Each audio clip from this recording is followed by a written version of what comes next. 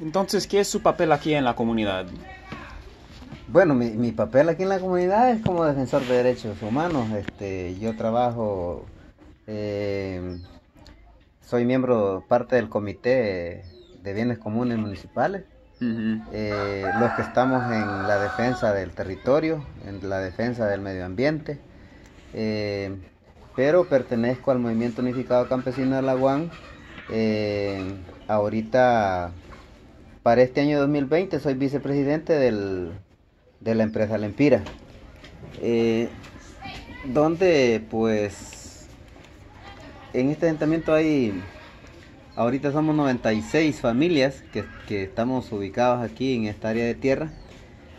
Y pues yo creo que nos compete porque nosotros luchamos por la, por la tierra para buscar lo que es la alimentación y la educación y la salud.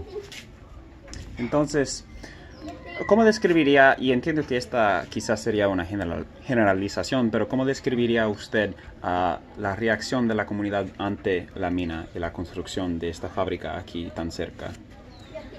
Bueno, es que la reacción ya se ha dado y lo que pasa es de que eh, como es una empresa extractivista bien fuerte que está apoyado por, eh, por el gobierno y por, y por otros países que vienen aquí, entonces eh, la reacción de los pobladores ya se dio porque ellos no hicieron la consulta previa que dice la ley. Entonces eh, han, habido, han habido hasta muertos, han habido asesinatos al contorno de aquí, han habido ya gente muerta, yo no sé si van seis o siete, pero por ahí ya han, ya han asesinado gente por seguir permanente en esa mina.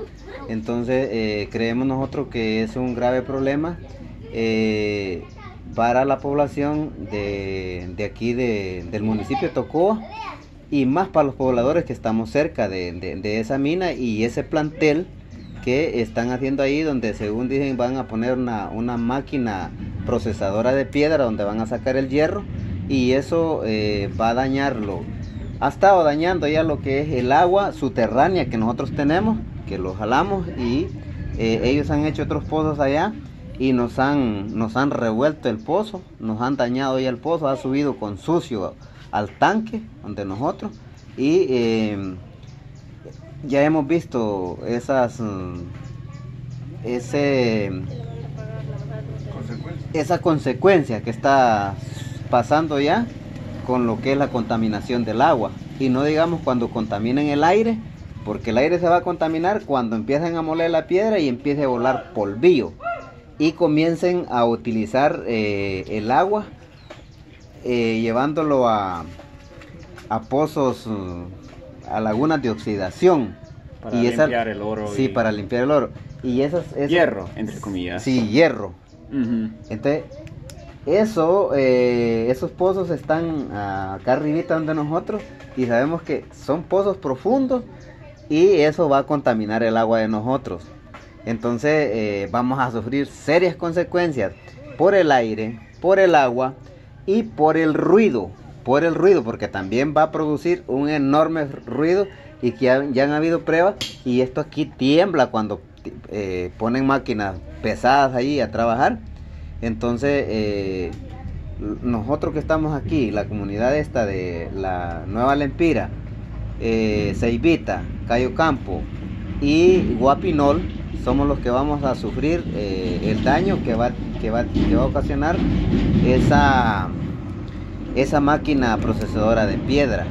Entonces, eh, nosotros estamos conscientes que hubieran hecho consultas previas hubieran ido legalizando su, su, eh, su, forma de trabajo que tienen que desarrollar ahí, pero no lo han hecho.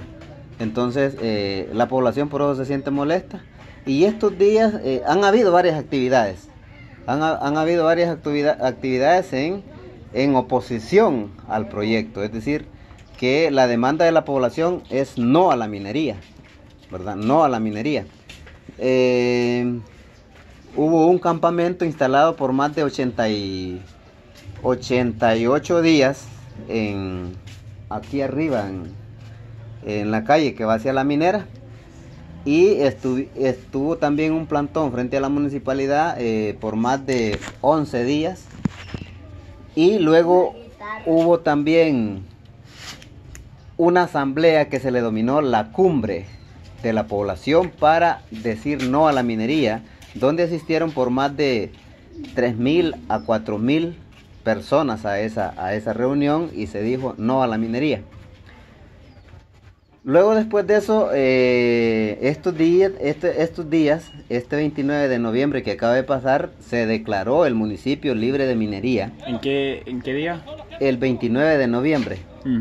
El 29 de noviembre se declaró el municipio libre de minería por la corporación municipal y, eh, y la población donde asistieron por lo menos más de, de unos 5 mil a 6 mil eh, personas donde fueron a decir eh, contundentemente no a la minería y la corporación municipal también declaró el municipio libre de minería.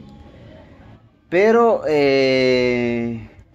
la empresa sigue trabajando todavía. Eh, creemos de que el alcalde, don Adán Funes Martínez, debe de saber de que si no ha otorgado lo que son los famosos permisos de operación eh, para este año 2020, eso esperamos que no lo haya, no lo haya dado anticipado.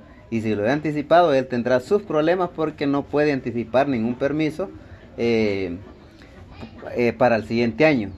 Entonces creemos de que ahorita estamos en un proceso de, desarrollo de, procesos de legalidad eh, para que bien siga operando la mina o ya no sigue operando, porque el pueblo ya declaró no a la minería.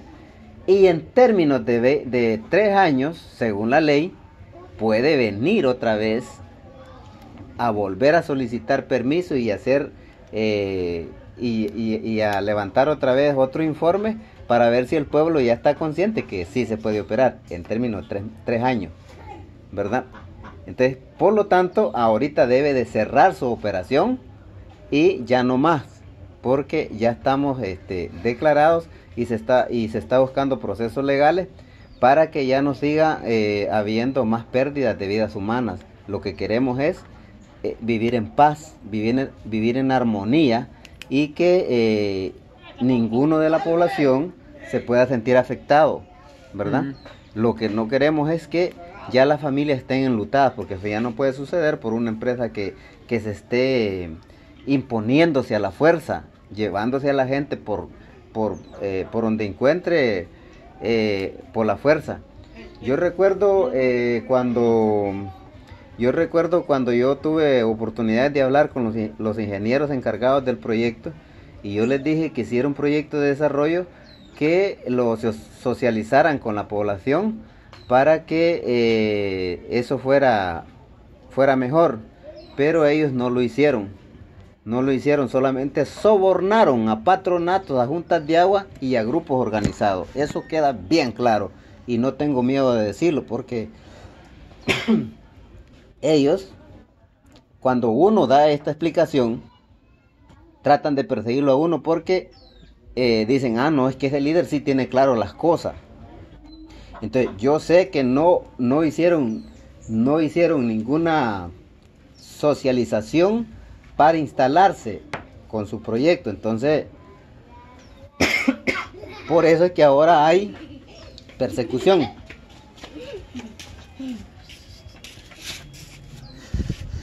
Por eso es que ahora hay persecución y eh, asesinatos. Han habido siete o ocho, había dicho, ¿sí? ¿Siete o ocho en esta comunidad o en todas las comunidades afectadas por la mina? Eh, de seis a siete. Sí, de seis a siete asesinatos. ¿Solo en esta comunidad? No, eh, eh, en, la zona. En la zona. Una pregunta, de lo que entendemos nosotros es que esto fue el corazón del conflicto no hace muchos años sobre la tierra contra C para las palmas africanas. Hay similaridades entre ese conflicto, hay actores o algunos de los actores mismos que están ah, actuando en este ah, conflicto ahora con la mina. han trasladado a algunas personas, figuras, no sé. Importantísima su pregunta. Dice que son los mismos. Son los mismos que, que, tienen, que tienen el proyecto minero. Eh, por ejemplo, eh, los que están llevando el proyecto minero es una hija de Miguel Facusé, eh, uno de la gran corporación Dinan que, lideran aquí en el Bajo Aguán. Entonces, esa corporación Dinan es, grandota a nivel mundial, diríamos, porque tiene está en varios países. Y entonces familia de, familia de Miguel Facusé que lideran esa, esa corporación DINAN son los que llevan el mismo proyecto minero. Este, por lo tanto, eh, gracias, doña Rey. Por lo tanto, eh, el conflicto casi sigue siendo igual como la tenencia de la tierra. ¿sí? Porque son los mismos actores, eh, actúan los mismos, saben cómo organizarse, saben cómo saben cómo disminuir a los grupos organizados que, buscan a defender sus derechos. Entonces ellos saben cómo, cómo infiltrar eh, gente matona, gente asesina, para dispersar a los grupos organizados. Entonces ellos, ellos tienen, ellos manejan eso pues, porque son, son, son los mismos actores en cuanto al tema del conflicto de la agrario tenencia de tierra aquí en la región de La UAN. Entonces, tienen mucha experiencia. Entonces, cuando estábamos en Guapindola ayer, ah, nos mencionaron de que a veces, como cada semana por lo menos, ah, viene el ejército en patrullas para amenazarle a la gente. ¿Eso ha pasado aquí? ¿O hay cualquier otra forma de, de amenazas que han seguido hacia ustedes? Aquí ustedes, no sé si vieron ahí, si todavía sigue instalado ahí lo que es un operativo frente a una escuela de Cayo Campo que está en la salida ahí, el orilla de la pavimentada, donde mantienen un operativo eh, permanente. Y cuando uno pasa ahí, pues lo investigan, le bajan, si van a moto, lo bajan de la moto, si no, lo bajan del carro. Eh, yo puse una denuncia eh, la vez pasada, como el 27 de julio, porque a un hijo mío no solamente le, lo, detuvieron, sino le quitaron la camisa, le quitaron los zapatos, estaban por quitarle el pantalón cuando, cuando pasó otro y le dijo, no hombre, déjenlos, son, esa gente es de, ahí, de del grupo organizado de la Lempira. Entonces... ¿Por qué lo eh, hicieron? Lo estaban haciendo solo para amenazarlo y le dijeron que si murmuraba, te, te maneamos, te tiramos al carro y te vamos a ir a botar a la guan. Eso fue lo que le dijeron, bien sabes. Que, eh, lo iban a llevar a, otro lugar. A otro lugar. Ah, ¿Qué día fue eso? Eso fue el 27 de julio de este año. Entonces, eh, sí sabemos de que han habido bastantes acusaciones, amenazas, persecución, y eso se da eh, por los grupos que lidera la minera y los mismos policías y militares que se prestan para eso. Sabemos de que eh, aquí en Honduras es otra de las razones que quiero manifestarles a ustedes, que no tenemos, eh, es decir, no tenemos gobierno. No tenemos gobierno porque el gobierno es ilegítimo. Él está porque usurpó las elecciones y no aceptó el mandato del pueblo. Y eso nos duele y nos molesta muchísimo a nosotros, porque no nos respetó. Y ustedes perfectamente lo saben, porque él quiso empoderarse de, estar en, el poder y eh, seguir ahí porque usurpar las elecciones es algo eh, que no lo merecemos nosotros, el pueblo hondureño. Pero él siguió ahí porque usted, como le repito, ustedes saben perfectamente bien, él es narco. Él es narco y, lo dijo la Fiscalía de Nueva York, ya no lo decimos nosotros eh, como, como hondureños, sino que lo dijo la Fiscalía porque fue investigado, fue investigado su hermano y su hermano solo está esperando sentencia. Y ojalá esperamos también que a él le pueda, le pueda suceder lo mismo porque él tiene muchos nexos con el narcotráfico y eso nos molesta, nos duele mucho a nosotros porque somos hondureños eh, pobres pero honrados, buscamos cómo trabajar para salir adelante. Y sabemos de que todos estos proyectos de extractivismo es más que un lavado de activos.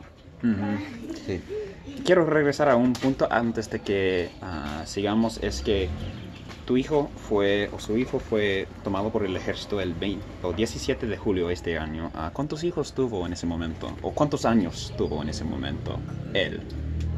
¿Él tenía cuántos años cuando lo tomaron el ejército? ¿Cuánto?